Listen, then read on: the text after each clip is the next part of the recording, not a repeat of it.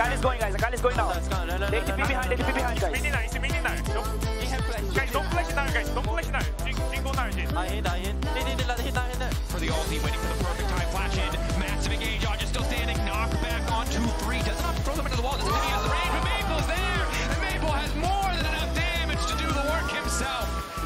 Maple. Welcome back to Worlds 2024 here in Berlin as PSG comes back against Pain Gaming here in game two and a much more convincing game on the side of PSG here and I feel like uh, I'm playing to the expectations that we had for the team here. Yeah, absolutely. But it's it's so weird to watch a game like game number one where you didn't like the draft, we didn't really like the play, and then they come out in game two and they just absolutely slam them, right? Like it, it wasn't even something where it took them a while to get going. It felt like they were destroying them right from the word go.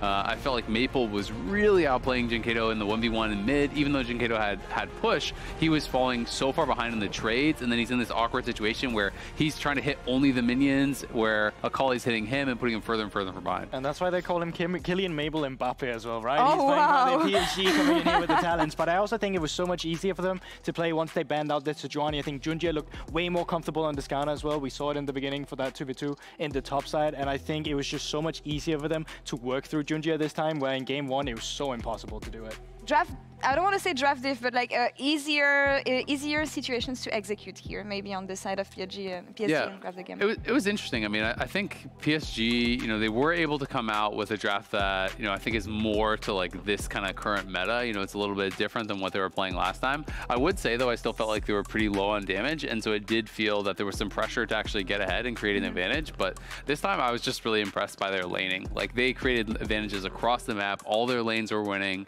Um, we saw Junjia get so much more done. In the last game, he was able to get nothing done on the Skarner whatsoever. You know, it was super late in the game. He's still on zero KP. I think he got one Heartsteel stack uh, in the entire first game, at least when I saw, like 30 minutes in. Game two, wasn't he was he was involved in a lot. He was finding good ulties. Yeah. Um, he even made a really good early gank towards top to put the Rumble behind and keep Gnar in a really comfortable spot. So it just was more the PSG that we expected um, coming into the tournament, but not necessarily the PSG that we expected after we watched game number one. Completely agree. And uh, we're going to take a look at the HyperX Reflex replay here, GB, because that's exactly what Azel was saying just now in the sense that Skirmish is not going in PNG's favor, but also uh, PSG executing perfectly here. And it came to really simple moment, a really precise mistake. Yeah, I mean, it's already been quite dicey for Wizer up in the top lane, and already in this position, it looks like it's lost, but it's really CarioK coming in here that makes it a very close effort. Yeah, exactly. And I have to credit JunJia for how he was playing around Vision there. It was highlighted really well by the observers. He had the pink down. He saw that uh, the Rumble was going to be walking in, so he walked back around the corner so he wasn't spotted on the ward. And that sets up for the E over the wall, you know, kind of catches him by surprise there. Um, and it was a very close fight, but the Gnar is able to get Mega, obviously get some health back from that, and is able to survive as a result. So this was a really big play. When your lanes are already winning and then you win a skirmish like that on top side, then you have full control of the map, you have full prio everywhere, uh, and it kind of allowed PSG to really run away with this one. Yeah, and I mean, in general, that's been one of the ways that you beat Pain Gaming as well. If they don't have an avenue or some leads to play through from laning phase, they have a very difficult time of playing the mid to late game. Like, as we saw in game one, if they stack up the objectives, they find team fight after team fight, really easy for them to play the game. But when they get choked out like this, slowly but surely, from pretty much all the lanes, it becomes almost impossible for them to play the game. Yeah, and it was hard to maneuver and even contest objectives, I feel, even from the early stages of the game. I'm thinking about the dragons were a specific case, I feel, but when I look at the top side of the map, specifically the grubs contest, it's really complicated for Pain to maneuver with the tools that they have. Yeah, a- absolutely. I mean, especially when you are pushed in, your resets are a lot harder. It's harder to get there at the right time. Uh, this was a actually very close fight, though. You wouldn't think it was going to be with a three-man Skarner roll to actually be able to set this up, but uh, Pain was able to make something happen here. You know, they were able to actually finish off Woody, Yeah. and uh, TitaN on the side is able to find you know almost a kill here on Betty, but PSG do survive. The advantage that they had from their soul laners from the 2v2 top early, as well as from Maple creating that individual advantage in mid lane, were really what shone through. And I was just so impressed to by Maple in this game. I think he really made it work on the Akali. Uh, looked really strong start to finish. I mean, he forced dyNquedo to build a Hexdrinker as, as his first completed item Yeah. as a solo AP champion, and he really put him so far behind. He beat him down, even with him building that MR, and pretty much made the Yone useless. Yeah, I mean, he, he never really found a point in the game where he could come back, even trying to stabilize, as you say, through that Hexdrinker. It just made it so that the Borg power spike was so much more slower. I think it was about Yeah. the third dragon as well. They couldn't really contest it because he was still sitting on components. Like it was very difficult for Pain Gaming in general to find themselves in a position where they wanted to fight. Even from Titan's side, he was sitting on just Mura, uh, Muramana for so long, so it wasn't completed as well. Like it just felt like they never had the item spikes they needed to play the game that Pain Gaming usually wants, which is the team fighting. With this game looking way more like the expectations we had coming into today, what can we think about the third game ahead of us? Oh, it, it's it's Was hard it just now. a dream for Fane or? That's kind of what it feels like, right? Like when you have a game one like that, it's easy after a game two to say, well, PSG just drafted wrong, right? You know, they just had the wrong read on the meta. Game two, they changed it up. They absolutely dominated them. So I do think you have to then go back to that expectation of PSG is the massive favorite. Unless Pain can really get something going, I think in the draft, try to throw some sort of a wrench in the gears. I think it's tough to predict. Yeah, but I mean, I want Pain Gaming to do it now after they took game one. You know, I kind of want to see them succeed. Get rid of the Rumble. Have Titan again on something like the Lucian Nami. I love the early aggression they played through. I really hope we see them try and contest the early game so they find themselves at a better position for fights in mid game. I mean, they have your passion, they have the fan support on Mm-hmm. the other side of the arena. So let's send it over there, actually, and to our casters for game three. Thank you very much, Lore. Game three. Again, start of the day, not a position I expected that we would be in. Game two looking much more convincing from the side of PSG, and I'm hoping that uh, Pain, you know, bring a couple adaptations in. I don't think they need to blind pick Rumble. That's that's the first thing on my on my list. Oversimplification probably of what went wrong in that game, but it's it's a start, you know. We've just had so much whiplash this whole series because game one we expected PSG to completely dominate. Yep. Then they fall flat on their face. They pick five nerfs champions, um, and they drop game one. But then in game two, it was probably in contention with game two of the Mad versus Vikings series to be the Oh, most yeah. one-sided game of the day.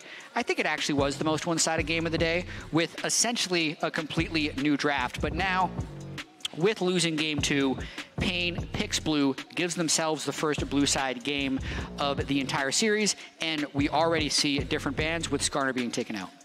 Wonder if any of the tanks will make it through, or if PSG again want to ban away the Maokai. Ashe was also on their list, essentially not wanting to give over that playmaking and reliable kind of winning lane option. Mm-hmm.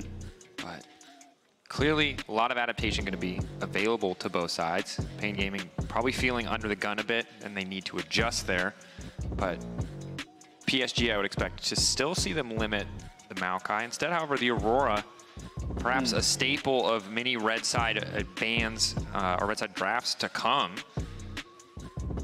It's going to be tricky because I think Pain is probably walking away from that game too and thinking, okay, even if we picked a good team fighting draft, we just can't have three losing lanes. Like Yeah, that's yeah, always 100%. going to be a team's feedback uh, for the players whenever they have a game like that because it will feel so ridiculously hopeless with three losing lanes. So I'm just trying to figure out how they can actually do that because the Yone power pick, you would expect that to be decent. It got completely slammed by the Akali. They've played two sides of the Rumble matchup. They were getting pushed in on both of those, so neither of those were like safe blind pick lane winning champions. So if they're really looking to, to win lanes, they want to delay their lane picks as long as possible. And I don't really know what the real power picks of Worlds are going to be so far, but that would almost mean like a jungler first pick, so Yeah. they can think about counter picking lanes. And interesting that both sides have really, it seems, decided to limit There the reliable, proactive playmakers in the form of the, the kind of the tankier jungle options. Excuse me, Jarvan, the Skarner, the Maokai, the Sejuani. But now, Syndra mm-hmm. coming into the mix. Yeah, in theory, you can win. uh, They think this is a blind pick winnable matchup, but curious to see what Maple matches it with. In theory, also, uh, I mean, uh, Champions Queue is so hard to know what to take from it, right? But in theory, also a flex. Sure. I feel like it's it's been a very heavily blinded pick in Champions Queue so far. Historically, Syndra has been fairly blindable as long as you can build the right type of team comp around it. Yeah, I mean, you get to hold every single champion at arm's reach. Uh, You know, abilities not forcing you to stop, not getting stuck in cast animations makes the champion feel so good in lane phase. And if they do pair it with a Lee Sin, you have really excellent CC setup. Provide a bit more mid pressure. banned out most of the tank junglers, and the Akali Wukong is really threatening in team fights. It's not like a super strong 2v2 early, so I could definitely see Pain getting a little bit of push through the mid lane. Also, the Ashe early pick going to be very vulnerable in team fights to the Akali Wukong. But I think for the most part, the priority for Pain was let's not lose lanes as bad as we did in game two. I mean, these are two champions who you would expect to have the push early Yeah. on at the very least. And obviously the proactive playmaking you can get out of a Syndra and out of an Ashe ultimate can help to really set up this Lee Sin for success. Uh, that said, Wukong, bit of a terror as you get later in the game, and as you highlighted against a mobile champions, feels so good. A similar story for Jhin, who can just, again, like in game two, operate at arm's length while you have a Wukong and an Akali diving into that backline. Yeah, Wukong also going to be a flex. You can play it top lane or jungle. They don't need to reveal that yet. They could actually hold it all the way to the fifth pick and really throw a curveball if Pain assumes that this is a jungler. So makes these second phase of bans a little bit more complex for Pain as well. Wukong top, of course, uh, got a little bit more popular after his buffs on 14-16. I believe it was kind of the flavor of the month solo queue pick in Korean solo queue for a bit of time. See, that's something Azhi wants to try. Yeah, if uh, K'Sante gets locked in, then you can put the Wukong against it. We saw that in the LCS playoffs to decent effect. Also just a champion against really any AD-based matchup with the passive buffs who just gets so much armor and extended trade, so any melee melee champions can feel okay, at least for the lane phase. Now the Braum, though, taken away. Um, and when you already have an Ashe and a Syndra, and you're potentially relying on a Jhin for follow-up, it makes a lot of sense. Braum, a champion who, in the right circumstances, can be one of the most powerful supports in the game, just because of how good Concussive Blows is and how good Unbreakable is. The rest of his abilities, eh, they're all right. But those two Yeah. abilities, hard to put a, a, a gold value on them. Absolutely. Another Poppy ban from Pain, even though I think it's pretty good against PSG's current champions. They just don't want to play against it in any way, shape, or form. Yeah. Yep. Yeah. They it would be wanna it. really, really good for their team. Though. I cannot, it's really hard to think of a champion that would be better for their team uh, in the support position right now. But I guess, you know, want to give Lee Sin the freedom to live his very best life. yeah, just in case. Could So get picked on four. Jax taken away too, potentially heralding.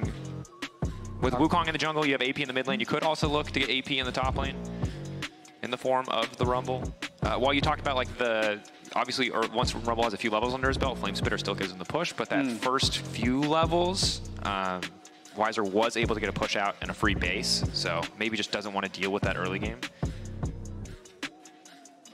Okay, they lock in the Leona, so they're holding the Wukong flex, which makes this pick a little bit more difficult. They could also just put Rumble in the top lane. It's going to be generally fine because they have enough AD from Jhin Wukong. So I'm a big fan of PSG's draft so far.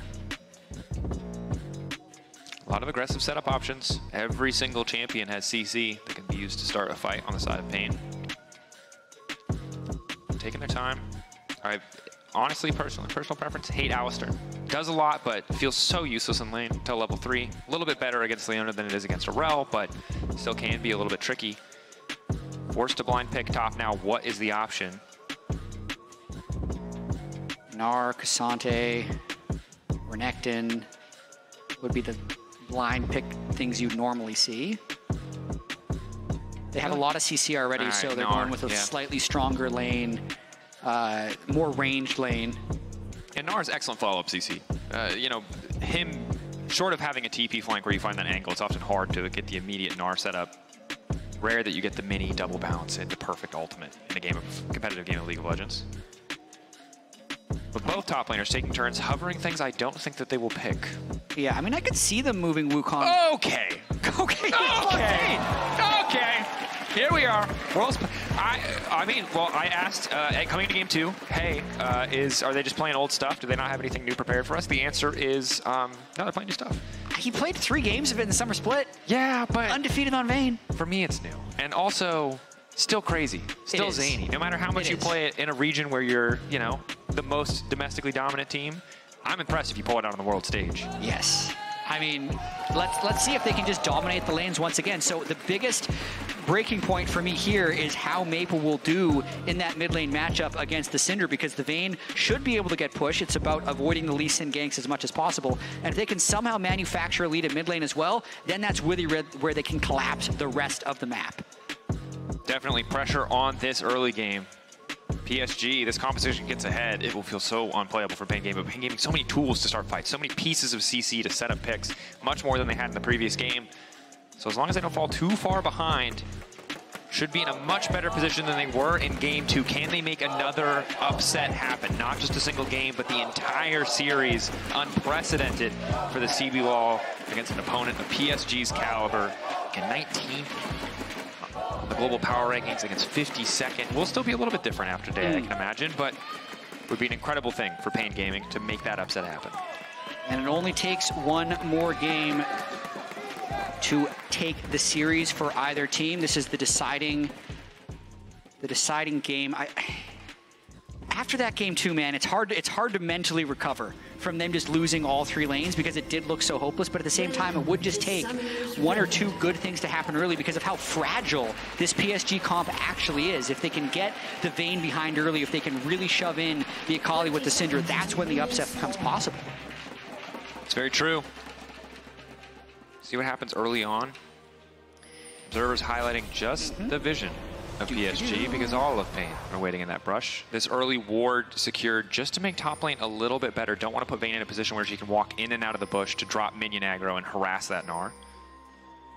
Yeah, it doesn't look like we're going to be seeing a swap. We had seen pretty active level ones before. All I'll say is like Gnar is bad in a swap, but it is hard to imagine a champion worse than Vayne in a lane swap. Although she could just go mid like it was at MSI and just be obnoxious. Hmm. That one I do remember.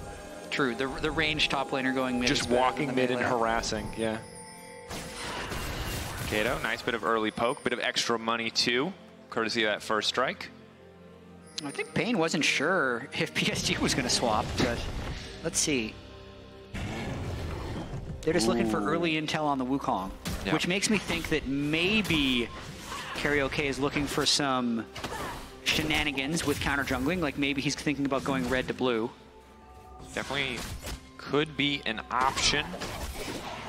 Top lane though is going to be a little bit miserable. Luckily, the double wards in the brush means that Vayne cannot just abuse being able to hmm. walk in, tumble back, or tumble out, walk back in. And so we'll eat a bit more minion damage than you normally would if that ward was not present.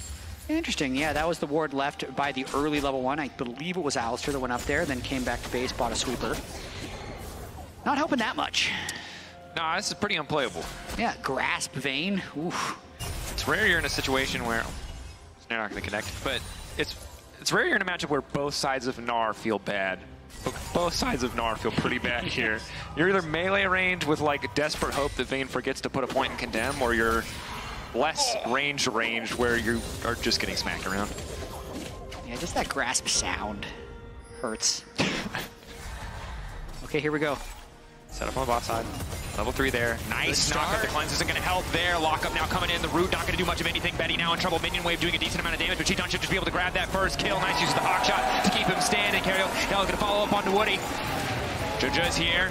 Lisa needs to be careful. JunJia early burst isn't going to be that crazy. Alistar already up. Kuri hoping to mitigate this a little bit. Q in to try to follow. Clone now coming out, but the lockup is there. Leona passive, offering that bit of extra damage to make sure JunJia can secure. And now it's Kuri who's forced to flash away. A bit over eager there on the re-engage. It really was. I loved the look already, though. They had the early ward, knowing where Wukong was starting. They didn't expect him to be anywhere near there because they thought uh, the ward would have given them the correct information. So he three camped into full gank bot lane, setting back his full clear quite a lot. But then giving that kill back at the very end of it nullifies the advantage he would have gained. Maple, not quite as favored early on here, but still threatening, still able to just stand in the wave.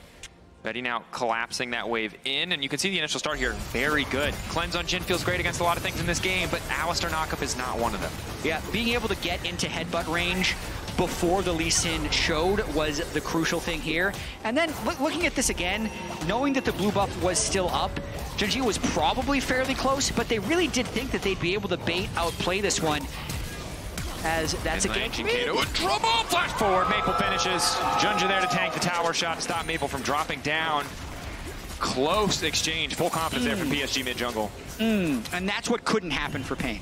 They couldn't have the Syndra not only lose Flash, but also die early on, and the kill goal goes oh. over to Maple, because now that means when Maple is level 6, is going to have kill threat and be able to get Prio in that lane. And losing cannon. And TitaN, the Ashe obviously can win early on, but Kuri taking so much damage there for free. Pressure going in favor of PSG, and it's starting to feel like a bit of a run back. Similar to game two, different side for PSG, but the control of lanes is very heavily favoring them. Yeah, something that was true at MSI and throughout the entire PCS split was when PSG got a lead, they pretty much never let it go. Yeah. So this early start is something they're very confident playing around, especially with Wukong outpacing the Lee Sin, going to be hitting level six first. Vayne so difficult to deal with unless you're really going to devote a lot of resources to stopping him at this point, which they can't since both the Syndra and the Ashe Alistar bot lane would be the ones in need of more assistance. So PSG is very happy with the start of this game. You can see the pings out. They know Lee Sin's in one of two spots, neither of which are near mid, which allows Maple to just play so incredibly aggressive. dyNquedo's like, okay, surely this guy won't continue to walk at me. Tries to predict with the Dark mm. Sphere behind him. Nope, he's continuing to step into you. He will just keep walking forward as long as he knows he has the safety to do so. But Kuri hoping that he makes the same decision twice. Oh. Nice sidestep by Maple. He is level six as well, so pretty easy to just crash this wave. If Alistar goes in, I, I think Wukong Leon is going to turn it. That pull.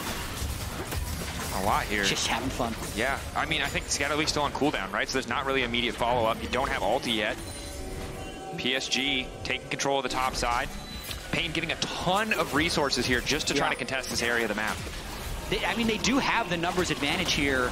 Azhi doesn't look like he's interested in teleporting down, so I think PSG is totally fine giving away these three grubs just for more gold and XP onto the Vayne. Good roam up there by Pain, though, getting the grubs relatively uncontested, especially since they can teleport bot to match that Vayne.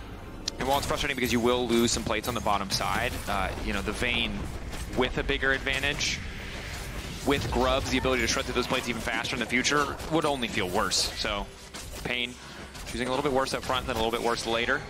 Which into here, Wizer has to be so careful. If he gets knocked into a wall, more than enough damage to finish the job before he can turn into Mega. He doesn't even have the Ninja Tab he completed yet. But luckily, Kuri, again in the area. And credit to him, he's been consistently in the right place across these games. Good knock up, level 5 there. Mark before the clone could come out. Now trying to get away, but CarioK just following up instantly. Wizer on the way in, level 7. Going to pick up the kill. A little stop juke comes out from JunJia, but nobody's falling for it. Quick kill back, and Pain giving credit to them, finding Yeah. the angle.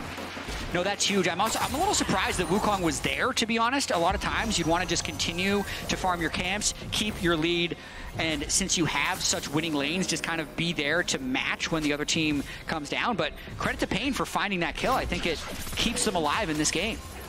Now having an additional kill, being able to go back, when he does go back, get those tabbies, maybe get a little bit extra, makes the lane phase so much easier. And Vayne is very much so often in pro play just that feast or famine champion, right? She's either single-handedly winning her lane mm-hmm. in isolation in a way that makes it miserable to play against her or, or doing very, very little. There's really no in dyNquedo, though, continues to struggle here in a lot of these trades. Does have the lost chapter now, so can spam out a bit more in lane, but maybe forced into some early MR here shortly. Uh, in general, Orc Tread's very high value against any Leona. And the Jhin, so wouldn't be a bad purchase. Yeah, really, really interested to see how dyNquedo can perform the rest of this game since there's so many champions that want to flank and kill him. In theory, he's good against the Vayne, but Yeah. just really struggles against the Akali and the Wukong in team fights, which I think could nullify a lot of his in, like potential advantage in being able to just outrange and win front to back. Yeah. And you can see also why it was important for PSG to, buy, uh, to ban the Braum, right? So much of their team comp is so vulnerable to those single pieces of CC. And now they don't really have that immediate reliable disengage option on the side of Pain Gaming. Circumstantially, you can, yeah, you can Alistar headbutt somebody out. Maybe Gnar can push people back, but it's just not the same reliability that Braum brings to the table. Now, Wizer starting to push top lane, a little bit more confidence. Pain, again, looking to take another objective. This time around, though, it won't cost them nearly as much. Their waves are in a pretty good state. We'll see if PSG feel like they can contest this, but they're certainly on the back foot in terms of overall map pressure. I think they just get this, which is I'm a little bit surprised. It, it felt like PSG had control of this game, but now they've lost three grubs, they've lost first Drake, and they haven't extended their goal lead. So quietly, Pain has really jumped back into this game. Yeah, very close. Here, Berlin Studio. A lot of love this Pain Gaming lineup. PSG, again, not much to play for on the bottom side, but as we start to split out into side lanes and 80 carries are assigned mid, there is a lot of potential for picks between the Jhin and the Ashe. More than enough setup on either side if anyone does overstep here. Isolated 1v1 still very hard for the Gnar, but is much easier now that the Ninja Tabbies have come through. Is the arrow going to land? Quick cleanse out. Well played. Gotta live here. Yeah, pretty simple, actually. Uh, so that's a couple of moves there by PSG trying to, I mean, they're really extending into the territory of Pain and getting nothing for it. I think one of the big differences here, yes, dyNquedo is still losing out a little bit on the laning phase, but Syndra's wave clear is so much safer than the Yone. So he hmm. doesn't have to just eat half of his health bar to delete a wave to try to avoid a dive, which just puts him in a much more comfortable position. Is now Azhi going to get kicked backwards. Oh, he Q landed it. does manage to connect anyway. Azhi spotted out there. That invisibility not doing anything against the Lee Sin. Good pick from Pain Gaming.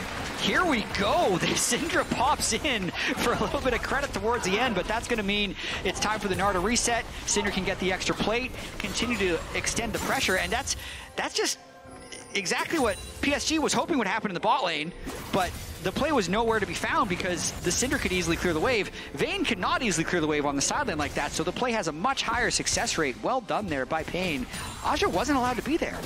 Certainly wasn't. Downside is it's probably going to cost them the respawn of the Scrubs, but they already picked up three earlier on. Trading three for three, not going to feel too bad for them. Will concede a plate as uh, Kuri, maybe not the ideal person to hold a lane.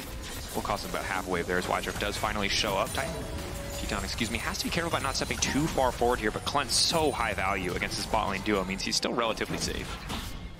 Yeah. Wukong finishing up the grubs. Maple trying to get as much gold as possible in the side lane. Not as accelerated as he was in the last game. Once he gets his Stormsurge, though, he's still going to be a huge threat to both the Ashe and the Syndra. dyNquedo smartly backs away. In the previous dive, he cleared the wave fast enough that he would have been okay, but when both Wukong and Leona are in the picture, it's more than enough uh, raw HP to just survive any kind of dive. I mean, it's really interesting. He, he did this exactly right. He waited for his Lee Sin to shadow him, and then he moves up on the cannon wave, doesn't really lose anything, and the rest of his team can then go clear vision from his own jungle. This is starting to look similar to game one, where Pain is just playing with a lot of discipline and patience, not falling too far behind, so PSG can't pull off kind of their comfort zone plays where they're 5,000 gold ahead and just really hard bullying everywhere they go. And again, this this Vayne pick doesn't have a good way to wave clear under the turret, means the Wukong has to come up and help Shadow to prevent the dive. Oh, excellent position for Pain. And I think this is a game where you can see that you know, you don't have those true crazy hyperscalers. There's no Jinx, there's no Aphelios, right? Those those traditional late game carries, no Zeri. But the Ashe is going to do a lot of work. The setup, the ease of execution for the size of hmm. Pain in most plays is very heavily, heavily, heavily, excuse me, wow, words are hard, favored towards them. While in 3v3s, you can argue that the Wukong, Leona together are going to do a decent amount of work. There's the sheer quantity of CC on this Pain Gaming lineup is going to Yeah. make it pretty tough for any of the squishier members of PSG to play at all. Asha is going to have a hell of a time in these fights. And as of now, they have no Merc Treads either. I would expect Wukong to buy Merc Treads as well as Leona, but if they get CC or an Ashe Arrow on any of these carries, they can probably just pull off the one-shot. Good spot to be. I mean, we saw in game two, right? It was just difficult because even if they found the angle, they were far behind enough that uh, they couldn't finish the kills. And while Wukong is, uh, you know, tanky-ish jungler, bruiser, he does get a lot of armor for free if he stays in combat. It's not a Skarner. You can't just eat an entire rotation of cooldowns and walk away. I think we're going to have a good game. Yeah! Yeah. I was, yeah. I was really doubtful after game two. that it was just it's going to the be worst feeling in the world when you see an upset in game one and the next two games are like, uh-oh, it was a dream. We're all waking up now. You know what I mean? Yeah. No, I'm, I'm feeling this game. I think it's going to be a, a close one. With that being said, this next Drake fight, very important. Certainly is. Uh, if Wukong gets the right type of flank onto Ashe Syndra, it's a little bit similar to the Jarvan comps we were talking about earlier, where you can just really punish the mobile carries. But if they can if they can mark him well, they can be the ones to burst the Wukong. The Syndra damage right now with Ludens being completed is enough to shut down Wukong and be the first ones to engage. Initial lockup decent, but level six is there, trying to find the kickback. CarioK just gonna walk away. Second use the ulti there. Pretty good. From JunJia. Decent control, but a lot of their pick tools used in that exchange. Leona ult is still there. PNG don't really trade much. Alistar ult is the big cooldown, really, Yeah. in that context. If you're Pain, you're absolutely taking that. Wukong is the biggest thing that you're afraid of. Betty. going for Betty. Force shot, now trying to follow up. Leona doing what she can. Woody trying to disengage. dyNquedo tries to hit the scatter leak, but it does not connect. Body blocks are there. Level 10 for Betty. And now a TP down to the bottom lane. Take a look at the MasterCard lane economy snapshot, or we won't. Because it's very close is what it's going to tell us. It's going to tell us that, except for top, where Gnar is a thousand gold ahead Yes, sir. As you expect. in the Gnar versus Vayne. Actually, it's a winning matchup. We were Vayne wrong. has to scale, apparently. Needs a bit more time as PSG have decent vision control, but with Gnar able to get first move and having Mega, this is a really tough fight to navigate. Watch here, Betty and Woody are so low, and Betty doesn't have ulti. So a bit of a spectator objective there. Window shopping for that particular Drake, but Pain Gaming had more money, had more resources, so they're actually going to be the ones to walk into the store and buy it. Well played, and they also have tempo on the map currently with the ability to get first on mid wave, first on bot wave. PSG running out at the moment. On the next reset, PSG is going to be able to get some tempo of their own, but just you're going to trade that every time for the second Drake, and still a slight goal lead. Yeah. Maple, I think, TPing top to try to get this wave in to make sure that they do have a pressure point where they can get a bit of vision control around this objective. Herald, of course, important for both of these lineups to maybe break us out of this laning cycle. But short-lived. Does let his team get in a little bit, but no one is there with wards to lay down the vision. Woody has to go mid to make sure that Betty is safe. So they'll get first initial setup, but PNG likely to just take it back. Okay, so Rift Herald available right now. And Pain is playing as patient as they did in game one, which is extremely good for them because they're almost waiting for PSG to commit to objectives, and that's where they're finding the fights. Because right now, PSG actually has very poor objective approach because they have really low range. So unless PSG can actually win side lanes and get flank set up, they can't approach objectives very well. So this whole time in between objectives, Pain kind of just has to avoid getting picked. And then if they have push as they move towards objectives, they'd be fairly confident actually taking these fights from range. And you can see they're immediately backing away as they realize they're pretty split, regrouping as four, re-approaching the objective. And it's not just the short range, it's also the general lack of wave clear. Yeah. Right? Like, Vayne is terrible at clearing waves. One of the big reasons the champion isn't more popular in pro, right, is as much of a bully as she is in lane. She's so slow to push these out. And while Maple's decent now that he has enough points in Q, uh, even Jhin has to pick I build items to supplement that wave clear. That said, PNG, only three people in the area. You've got Gnar Yeah. waiting off the side. Look at Wizer's rage management. Perfectly ready to go. If a fight does break out, we'll start to tick away, but not too far off Mega. They go first. Taking their time on Woody. They don't need to overcommit resources. Wizer now charging up the Mega. Good initial pick. JunJia trying to buy a bit more space, buy a bit more time. Jungler already taken off the board. JunJia still running, still living for an extra moment. But the knockback is there. Wizer just completely whiffing. Knockback which again, Gnar missing everything. PSG outplaying it now. Audra, this is the perfect circumstance. He just wants to chase these kills out. Maple is there as well. The dynamic duo, the solo lanes. A PSG trying to play cleanup as Betty returns to the mid lane. Pain had so much confidence going into that fight, but PSG are the ones that just execute straight up better. Vayne actually just knocking the Gnar around, discombobulating Wizer as he misses all of his important skill shots in this one. No Herald goes over though, so it's purely a gold advantage currently gained from that fight for PSG. Audra at least able to return to the top lane. Not even going to stick around and try to take the tower. Knows that the lead that they built for themselves in terms of overall map presence isn't that big. Wizer, frustrating play. Yeah. Wall up, yeah, I imagine what ends up happening there is you're buffering the wall up or you're pushing it as you lock your camera, so it ends up going the wrong way, and then the ulti just completely whiffing here. Yeah, Pain tried to hard engage onto the Leona and do not get the burst down early, which immediately puts them at a bit of a disadvantage. And they really extra chase to finish off this Wukong, and I, I think that's got to be what happened, but absolutely wrong I mean, some, side on his W. Yeah, some kind of misinput, most certainly. And this is a circumstance where if you burned all your cooldowns, Vayne is going to have a hell of a time running you down. Thinking about a dive bot. That's a Meganar, though. Wizer. They're going to kill the chart first. ulti back up. Going to go in, go for the pushback into the wall, get a little bit of damage down, but no one is in the area. Meanwhile, his team already trying to take down other objectives. Wizer taken out of the equation, but it's tier one top, traded in return. Mid lane, I believe, under pressure as well. So two towers taken down for one. Pain Gaming in a decent spot. They want to continue to trade up. No one has taken the Herald. It's not the center of attention. Instead, so much more about pressure on these side lane objectives. And we're just getting a bit of a bit of a side lane race. are going to take two as well. I think they're just agreeing to give each other money. Which, if you could do this in real life, I think a lot of people would. Guys, I've, So- fig- I've figured out economics. I've never Yeah. read anything about it. I don't know anything about it. But what if we both get money. We're just both going to accelerate the game. That's what we want. I think it will probably actually end up favoring. Wait, isn't this how inflation happens? yeah, it is actually. Someone, someone written the math in this before. I, I think it favors PSG though, is what is what I'm trying to get at. Uh, because more, more so because of the space created on the map. That gives a really, really deep angle if they can ever get really deep push in that bottom lane for Maple uh, or Wukong to come up for a big flank. Yeah, and it can be really tricky for dyNquedo on these side lanes against champions like the Akali, like the Vayne. Very reliant on getting a lot of damage up front, and an extended trade, he's just never going to be favored. But Pain Gaming forced to catch that bot wave pretty far back. There's a decent TP flank ward if they choose to use it. They have to be careful here. JunJia ready to hmm. start a fight. Yeah, and looking at the items, Pain is or PSG is way stronger. They have two com two complete items on Akali and on Jhin. It's going to be important. Betty doing what he can to clear the wave. Shitan just continues to bully, though, knowing the rest of the team is elsewhere. So Pryon mid. Oof, this is dangerous because they do not have two core items on Syndra and Ashe against two carries of PSG that do have two core items. They see Maple top. They know he has the TP in. They're hoping that they can just burn this down, that they can just get themselves into Soul Point. Wise with the ultimate. He has to be better in this fight. Maple's already on the flank. Cheeton not going to be in trouble. The arrow completely whiffs. In terms of overall timing out, Cheeton is going to be in trouble. E1 connecting, E2 ready to go forward. Can't kick him back time. The execution once again from PSG is just better.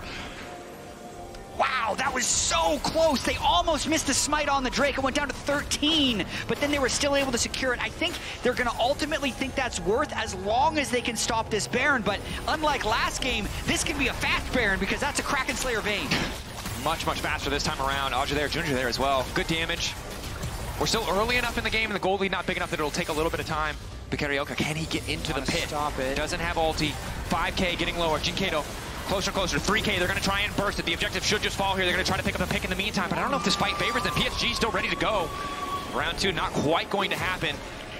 Pain Gaming caught reeling. TP down to the bottom side. They're just trying to delay some of these recalls, maybe get a bit more goals in their back pocket. Confident play from PSG. Yes, they lose out on the Smite fight, but they do manage to grab the Baron. And that, I think, is why that was such a risk by Pain. Because they were always going to lose this fight. They just were so far down in items and they commit a lot of cooldowns just to secure that Drake. I'd say PSG did go too late though. Maple, if he's in there 10 seconds earlier, they can get this fight before the Drake goes down. They still clean up, they still get the Baron. If they can make something happen with this Baron, they can make it almost impossible for Pain to get that soul. But being on soul point is probably something that Pain is pretty happy about. Especially Hextech, right? Yeah. Arguably the strongest soul in the game in terms of uh, efficient combat output. But PSG, Ashe out. not gonna hit. I mean, that's still just a Vayne. That's He's just invisible. At least I can see her. But now, the rest of PSG is collapsing, and things are looking a little bit difficult. Excellent scatter of the week with Ginger ready to go over the wall, and already the Jhin is in range. Nice knockback, stopping the first ulti. Additional headbutt to make sure that they can escape safely, but PSG are hungry for blood. Normally a much more map-focused team saw their angle to try and force the fight and get a bigger advantage. Yeah, I mean, if they win a big fight here, they can secure the series because with the Baron buff, uh, nothing's going to stop their push on the side of uh, on the side of PSG. So just trying to get as many objectives as possible because they really, really need to extend their lead to make that soul uh, impossible to complete. Definitely do. One of the few ways Pain Gaming have left in this. The goal doesn't look massive, but the, the map position has been so good for PSG. Yeah. The itemization, you talked about it before. Finally, we're starting to take over to two items on most of the members of Pain Gaming What? as the fight's now going to start to break out. Junja in trouble. Cario trying to backstep dyNquedo, ready to go. Has the Q.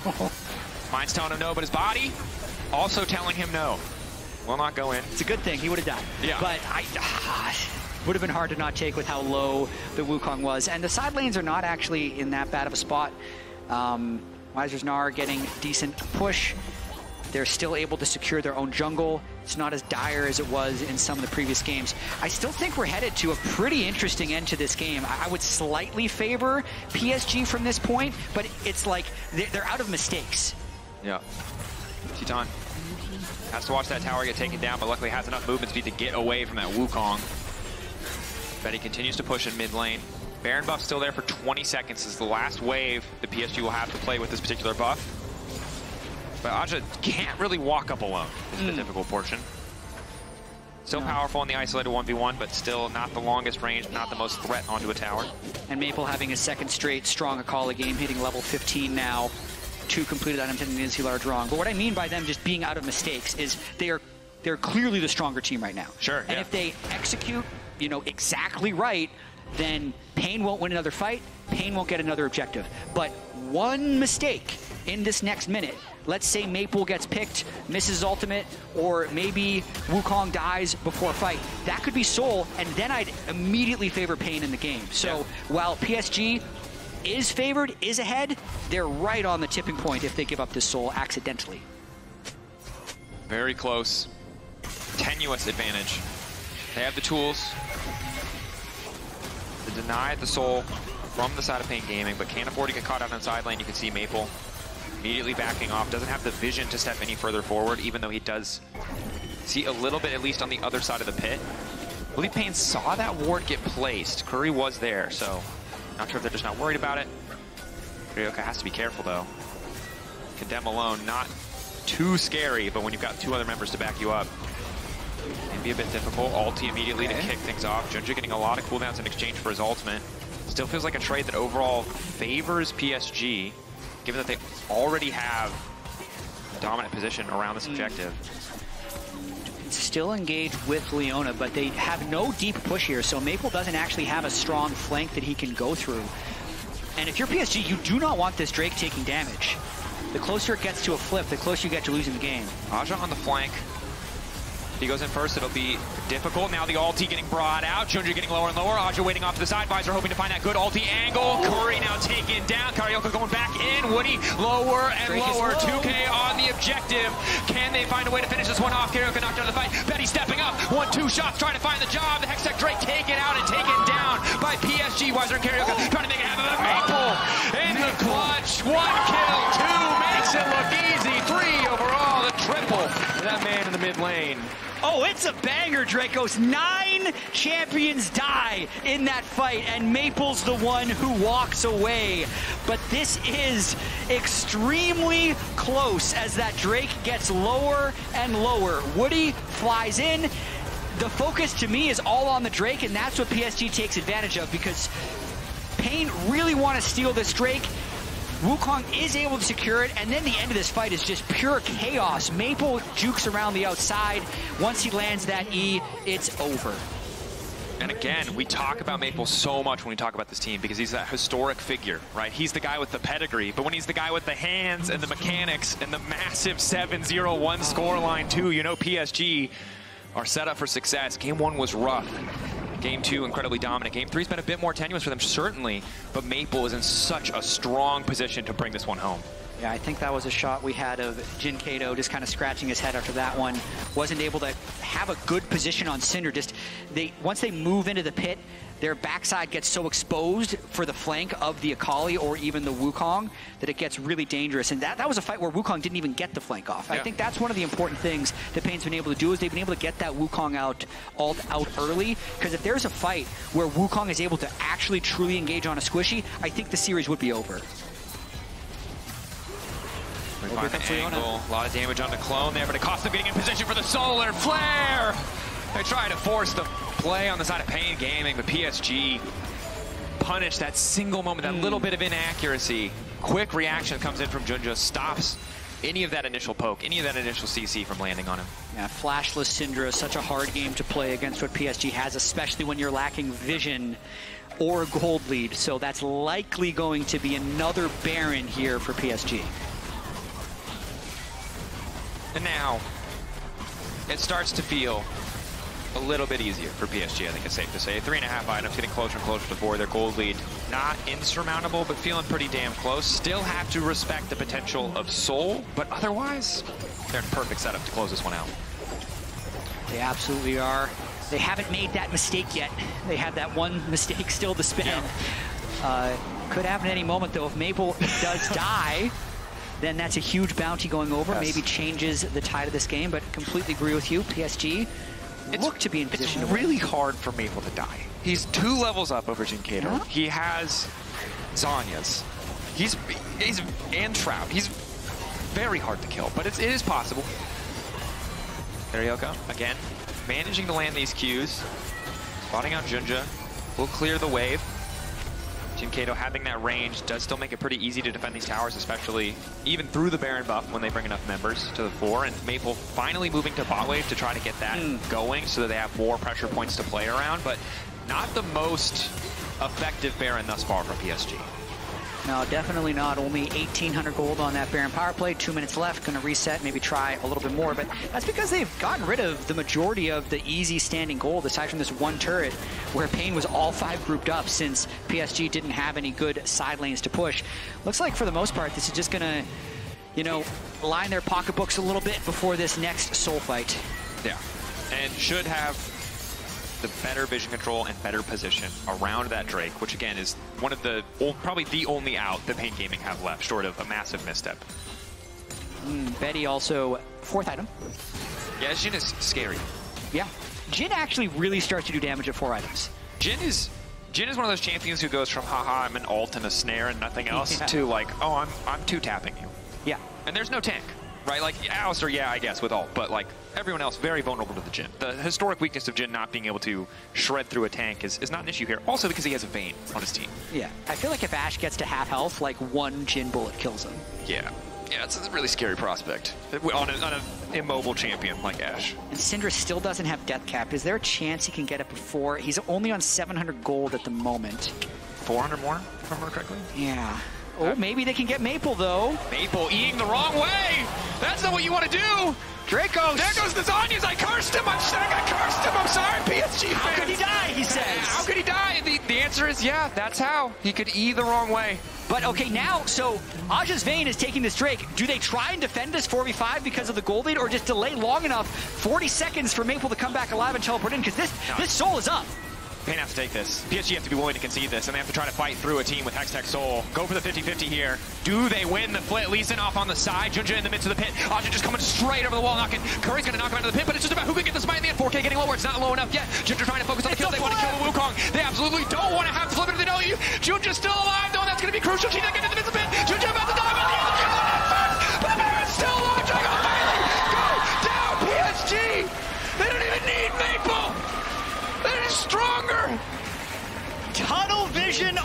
Drake allows Azhi's Vayne to just free hit throughout. And just like that, Drake goes, I think the series is over. They're going to teleport in and kill the Nexus. Maple. Oh, Wukong just died to a turret. Five head. Wukong just died to a tower. They're, they're still going to end the game. Death timer's been too long. Kuri, there's got to be no way he can hold this one. PSG, it starts with Okay. Maple getting picked, but they outplay. Tunnel vision from Pain. Focus too much on the objective. Means that PSG will come out on top. Maybe not the cleanest game they were looking for, but still quite dominant for most of it. And no matter what happens in these best of threes, you can lose the game one, 18 kills to two. You can just flip it with your 7-0 Akali dead at the soul, soul fight. But as long as you win two of the three games, it counts exactly the same as if they were both perfect. They move up to the winner's bracket, and Pain moves down. Credit to PSG, weathering the storm, adapting after a very rough game one. Credit, I mean, credit, credit to Pain as well for putting up such a good fight against Yeah. a team that was so heavily favored uh, in so many different metrics. It's, But it's going to be really interesting. I mean, for Pain, I think their expectations coming to this World Championship is they want to put up a good showing. They want to fight and show themselves against these other top teams. And if before the series you had this option before you that they're going to have this soul fight that maybe decides the series, you're going to take that 10 times out of 10. Oh, sure. But I feel like in the moment right now, they're going to be crushed.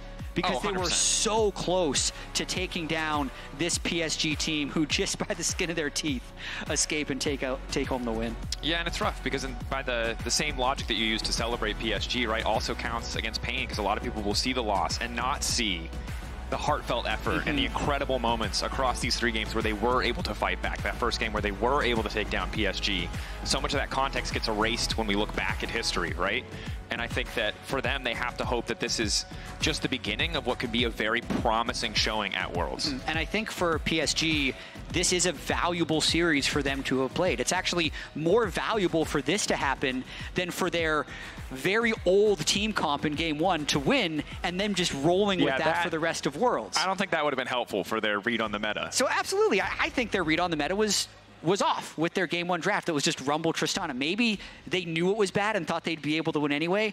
We'll never know for sure. But because they're moving up in the bracket anyways, it's completely fine. And I think very important that they got that read tested, Yeah. proven wrong, and they could adapt and not get punished for it. Certainly.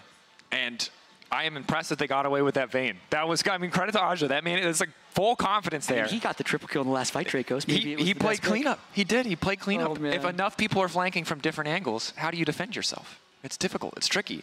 But overall, I think a series that was on paper supposed to be so one-sided ended up being so back and forth and so compelling. And I- I, that's one thing that I love about when you talk about plans is it's like so much because we get to see so much tape from like the top 4 mm-hmm. regions playing as we go later and later in the tournament. It's so much easier to have like a solid prediction on where people are going to stack up. But plans always manages to shake things up. One man who's going to be happy about that series, however, is Maple, and he's standing by for our post-game interview. welcome everybody to the post-match interview. With me is Maple after his victory up against Pain Gaming and also Reason to help us out with the translation. First off, congratulations on the win, Gongxi. I want to know how he feels after finishing his first match of World- Worlds 2024. 嗯，首先恭喜你们获得第一场胜利。那他们想知道，就是在赢得胜利之后有什么样的想感想呢？ 嗯，就其实今天是我们的第一场比赛嘛，然后我觉得第一场我们打的感觉有点紧张吧，所以其实在进攻的时候就是感觉都在跟对面发育，所以二三把就是我们选比较打架的阵容这样子。So after first game, um, they got a little bit nervous, but then um, at first they are um, doing a lot of laning, but then after first game, they decided to do more fight uh, surrounding about that. I think the change in the strategy worked really well, and also I think his Akali pick was the main kind of key point bringing your team to the victory. So I want to know your thought process be- behind blocking in that Akali for two games in a row, and how does he rate Akali right now? 嗯，就是觉得你们的策略做得非常好。那么在选择阿卡丽的时候，嗯、有什么样的是关于团队的策略呢，或者是是自己的自信选角，所以选择阿卡丽？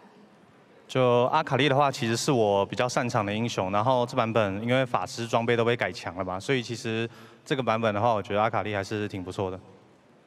So in this patch, um, most of the mages are buff a lot. So he, um, at first, he also Akali is his um, um, uh, personal favorite uh, champion, and also it's good for counter picks as um, if there's mage champion. And that is exactly how it worked in the series. And I want to ask about his kind of mental fortitude as well, because even last year he mentioned about he might even consider, you know, returning, uh, having some break after the Worlds run, but he made it back to Worlds one more time. And this time also he has Betty on the lineup who made it to back to Worlds after 2018. So I want to know what kind of drives them to keep competing on the world class stage for such a long time. 嗯，就是有关你的一些个人的想法，就是你有提到说你可能会需要一段时间的休息。那在这次世界赛的话，关于 Betty 一起归队的话，你有什么样的想法，或是是什么促使你一直这么有动力的呢？嗯，就其实这次我觉得我们的队伍的话，实力是比之前前几年来的更强的，所以就是今年想要把目标放得更远吧，然后想办法拿个好成绩，不留遗憾。So basically, he thinks that the team has better performance this year, and he wishes to do better than ever, and has a higher um, goal that in this year's Worlds. Amazing. Thank you so much for the interview and thank you, Reason, for the translation. One more time, this was Maple from PSG. Please give it up for Maple one more time, everyone.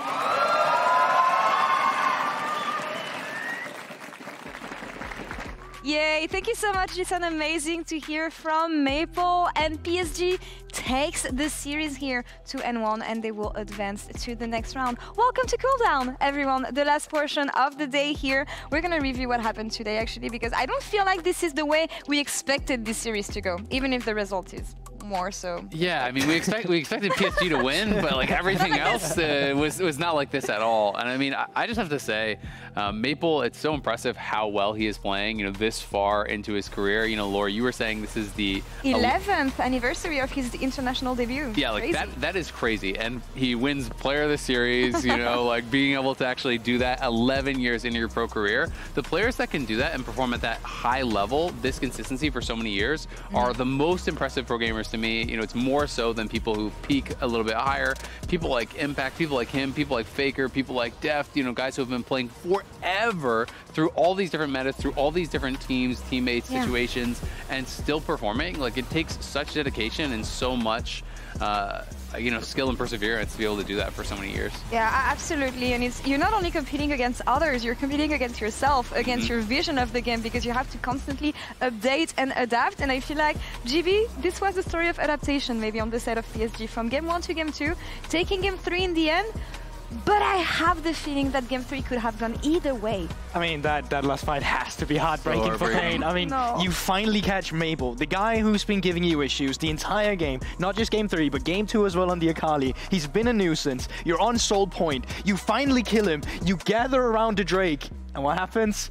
You get cleaned up afterwards and out team forward. And it's just so close for Brazil. That could have been their first best of three that they would have won against the PCS. Brazil in general don't get many wins on the international stage. At least not since we had the in, um, international wildcard qualifications. So this could have been so huge. But I mean, in the end, PSG, they managed to bring it back. I mean, especially against a team of this caliber, right? Yeah, that people are actually ranking as, as the best team coming in, two play-ins, for them to be that close, one fight away. And let's be honest, it's a fight that most of the time they should win, that they would win. They had a straight up 5v4 at Dragon for Hextech Soul Yeah. in the game deciding game here. Like that is a situation where you would be confident 90% of the time you would actually win. Yeah. And it's it's Yeah. Audrey on this on this weird angle coming in on the Vayne. TP's over the wall, immediately enters the fight by flashing into the pit. And oh. it's like, I just think that in that situation, they probably got a little bit too excited, a little bit too nervous. They're so focused on trying to burn down the dragon that it's like CarioK's hitting hitting the dragon. While they're hitting him, and he's you're kind of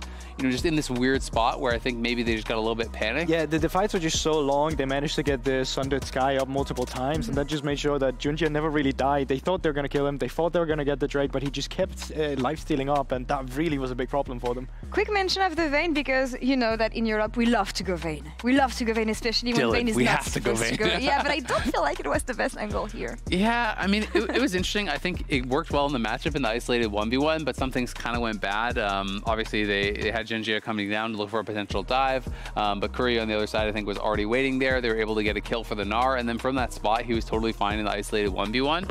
And I just thought it was such a hard Vayne game to play out because it's not like he can take cleanse. He's playing with the TP. Yeah. There's so much CC on the Pain Gaming side that I really favored their comp. I mean, you have Ashe, you have Syndra, you have all these ways to actually start out a fight. You get cop at the Lee Sin, you get cop at the Alistar, you know, and if you do get caught whatsoever, you're going to die 100 0 in most of those situations. And that was true for most of the champs on um, on PSG's side, but they were able to actually just mechanically outplay. I really liked how they were able to split up some of these fights and, and turn them into like, here's a 1v1, there's a 2v2, there's a 3v3 over here, and like all these little small fights instead of just a front to back 5v5 where I think they would have gotten absolutely blasted. Before we move on to uh, the rest and uh, wrap up the show, uh, one last shout out to Maple, honestly, our Oppo players of the series today. There's so much to say about him. Legendary players. We said that he was celebrating his 11th uh, anniversary as an international debut. He's.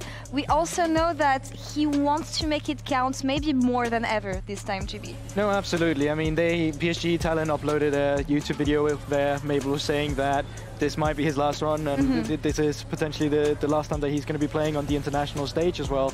So I think the fact that he's still this clutch uh, in game two on the Akali, That where he just sick. completely gapped uh, Yone on the other side, but also this one where you're saying it as well, right? Like his Akali multiple times just bailed PSG out. I mean, he, he was playing this so well. In that previous clip, I was so impressed because not only does he hit the E onto the Ashe, but then he actually waits out the Lee Sin Q that he knows coming, then goes in on another angle, able to finish him off on the back line. He was creating so much space, putting so much pressure onto the Pain Gaming carries. He was laning really well in the isolated 1v1 against dyNquedo.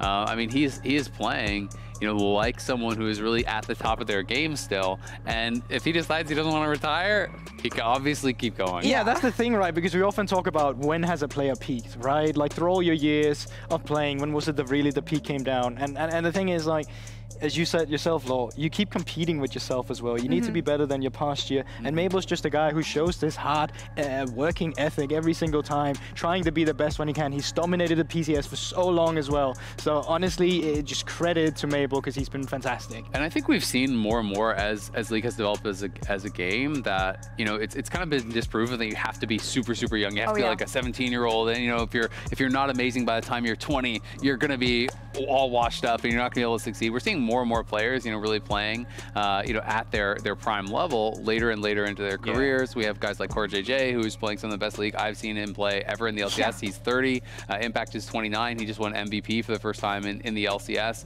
You know, like 11, 12 yeah. years into his career. Faker um, winning Worlds 10 exactly. years after winning Worlds last year. It's crazy. Honestly. Like that's that stuff to me is so impressive, and and it really does show that there's always more that the players can improve on. It's way more about mindset. It's way more about dedication and hard work than it is about your age.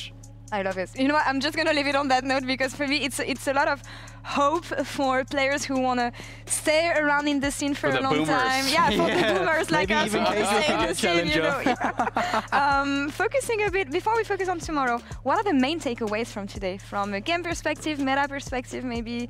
Uh, expectations. Don't pick Tristana Rumble and MF. Yeah, the that Rumble one, definitely yeah. bait. I think uh, read the patch notes before you, you play the game. I'm glad that PSG got it in between the game break of game one and two to quickly readjust. But I also think in general from PSG, I want to see more from them. I want them to see them have a better read because this was this was not um, the PSG that I thought we were going to see on the international stage. I've been seeing so much more domestically for, from them, and, and, I'm really hoping that they can give MDK a fair fight because with the level of play I saw today, I was like, well, maybe it's not too bad for MDK because because initially I did expect them to lose to PSG. Now I think they can put up a fight. But you just never know which PSG is going to show up. Even at MSI where they looked so good, they went five games against against BLG and then got 3-0'd by G2, right? Yeah. So it's like this is a team that could have a, a rougher showing today and then come in when they play against Mad and look incredible. So you really don't know. Um, I would say, you know, my main takeaway, at least from what we've seen, is the AD carries mid look very, very weak. You know, that was kind of expected. Um, but I don't think that there's like one solidified meta. The second series was much more about these melee champions in mid. We saw Jinkato have a really good Yone game in game number one. We saw two Akali games that were dominant. Mm -hmm. In the other series, it was much more about like Orianna and Syndra yeah. and more that mage style. So I think we're seeing that there is flexibility. It's just kind of in a different way than what we saw before. And we need more info, maybe, before uh, forming an opinion here. 100 Thieves are going to make their debut tomorrow. Uh, yeah. At 2025. Yeah. How uh, confident are we on this well, one? That, that didn't sound confident at all. I'm excited. I'm excited for, the, for this team, and I, and I have heard they're doing pretty well in scrims and oh, everything. Um, that's and usually a bad thing around these parts. Well, fa famously in an LCS, they normally do horrible in scrims. They like right. are normally getting blown up by everyone, uh, but then they usually do well on stage. So. I know that there there's a lot of young players on this team. Four of them have never played at Worlds, you know, so you never know how that's going to really show up. I yeah. think as long as they play comfortable, they play to their own skill level, uh, that they're going to do really well in play-ins. And I, I am excited for for a lot of these guys, especially. I mean,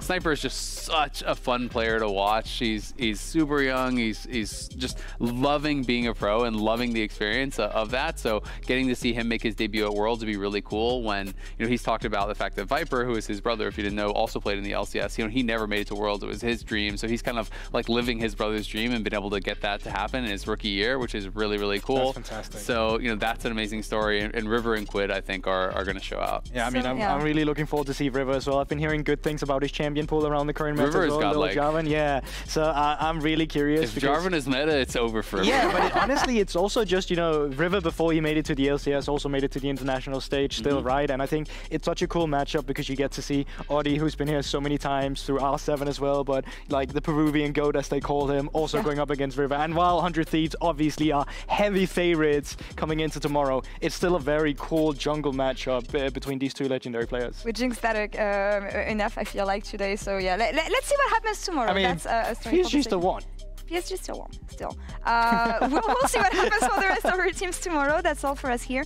GB, amazing as always to Oh, be uh, to share a moment with you here at the desk. And Ezel, amazing to have you back. honestly. Yeah, it's a lot of fun. We missed you. Thank we you. missed It's you good to be lot. back. And we missed you all here as well. That's all for us here on the first day of World 2024 Play-ins. We'll be right back tomorrow, same time, same place. Until then, take care, guys. Caddy gonna gonna find the edge, he'll pull them right over the wall, oh, and there's Supa! Hand delivered the nightmare of every single AD carry. Knowing the jungler's gone, Caddy's got nowhere to go! Might still have enough space to walk away. Why is he sticking around? He's like, Maybe they'll have a shot in the next one. oh, that's Supa. Good catch, big flash over, looking to finish it. Flame chopper, shut down, clutch from Caddy. Very nice. Look here.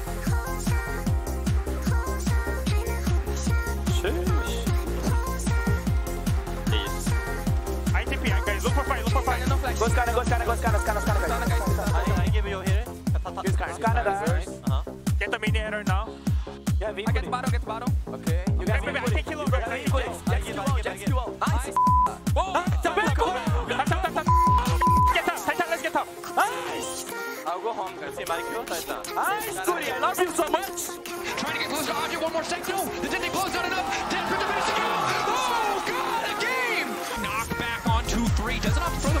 into the it. One, two shots trying to find the job. The Hextech Drake taken out and taken down by PSG. Wizer CarioK trying to make